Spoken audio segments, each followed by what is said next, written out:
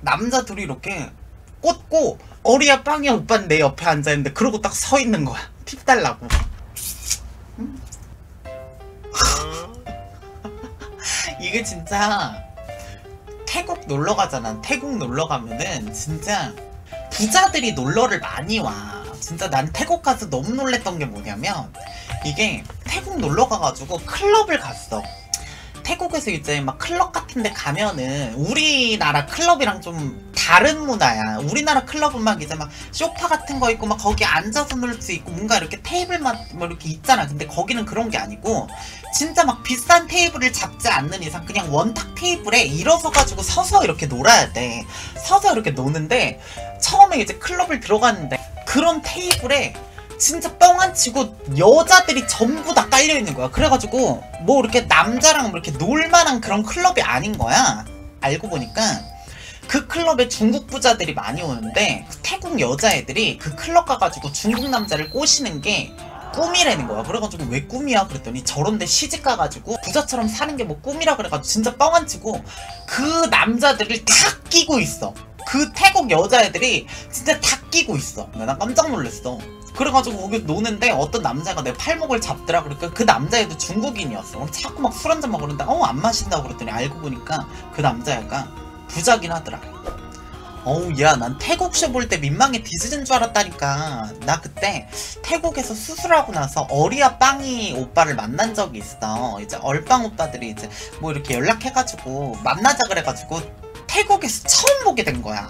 태국에서 만난 거니까 뭐 그래도 저녁에 만났으니까 뭐라도 해야 될 것 같은 거야. 고고보이가 태국에 유명해. 고고보이라고 이제 태국에서 남자들끼리 쇼하는 거 있어. 그거를 이제 나랑 어리 오빠랑 빵이 오빠랑 그 다음 또 누구 한 명이랑 이렇게 네 명이서 갔어. 네 명이서 갔는데 이게 처음에 그때 이제 시간이 조금 애매해가지고 유명한 고고보이 클럽은 문을 닫아둔 거야. 그래가지고 은밀하게 운영하는 데가 있어. 뭐 그런 클럽들이 태국에서 정해놓은 그런 클럽을 뭐 문 문 여는 시간 문 닫는 시간 뭐 그런 게 있나봐.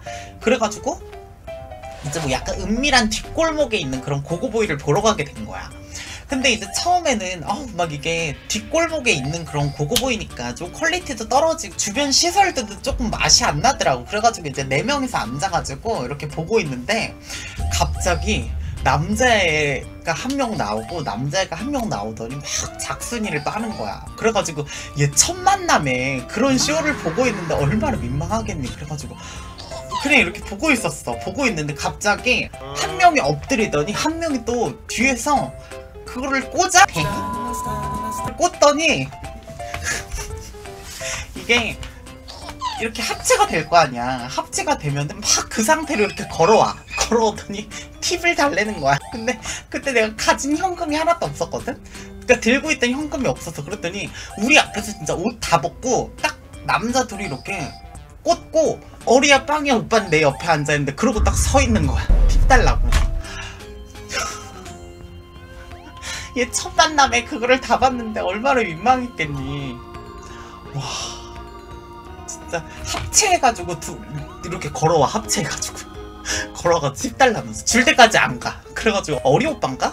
빵이 오빠인가? 우리 팁 줘가지고 보냈다니까. 어, 첫 만나면 진짜 너무 창피스러웠었어. 어우 얘 민망하더라. 아니 거기서 만난 거야 태국에서. 내가 있는데 내가 이제 있는데 얼빵 오빠들이 온 거야